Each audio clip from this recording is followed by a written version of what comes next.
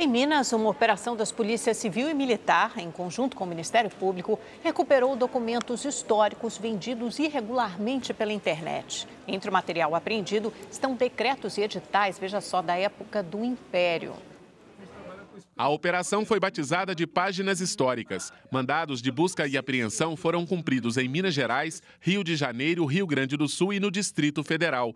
Segundo o Ministério Público, os documentos eram vendidos pela internet. Vários desses documentos estavam sendo vendidos em sites de leilão virtual. E visto que havia uma semelhança, uma semelhança muito grande, pedimos então as buscas e apreensões. Além do material apreendido, um homem foi preso temporariamente na cidade de Campo Bom, no Rio Grande do Sul. De acordo com o MP, ele seria o articulador do esquema e principal alvo da investigação.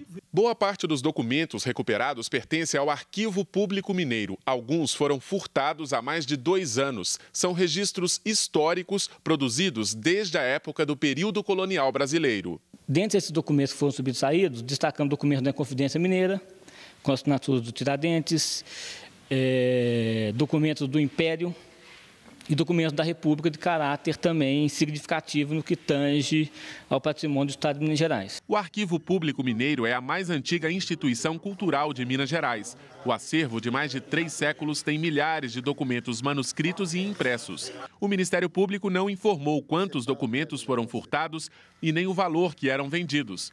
Antes de ser devolvido, o material vai passar por uma perícia. É o sentimento de alegria e o sentimento de alerta cotidiano. Espero que esse alerta não fique só nessa semana, não fique só nesse mês. A subtração dos documentos se enquadra no crime de furto. Já os compradores podem ser considerados receptadores. Mas quem adquiriu o material pela internet e fizer a devolução voluntária pode evitar o processo na justiça. Mais do que pertencer ao acervo do Arquivo Público Mineiro, esses documentos pertencem a toda a coletividade. Eles contam parte da nossa história, da nossa memória, e que, por isso, as penas para esse crime devem ser é, majoradas em razão dessas consequências graves.